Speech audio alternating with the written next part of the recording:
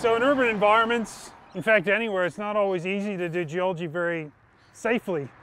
And so this is a great opportunity on a busy road here to uh, pull out the Brunton and take a strike and dip from the other side of the road. It's quite clear that the rocks dipping here are um, dipping about 40, 45 degrees or so, much steeper than they were uh, at our previous location. And so I can approximate the strike about 090.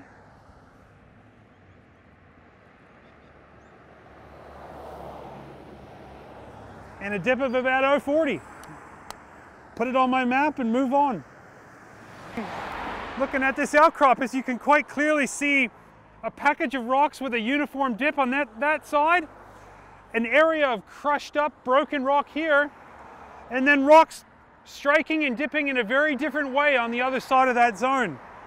It's quite clear to me that there's a fault located right in this package of rocks, and it's significant enough to have disrupted this sequence structurally.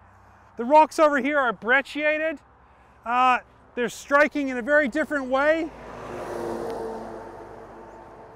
and I need to record that on my map and take a measurement.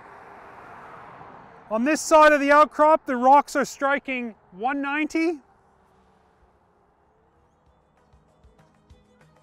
and dipping about 70 degrees. Better pop a fault on the map.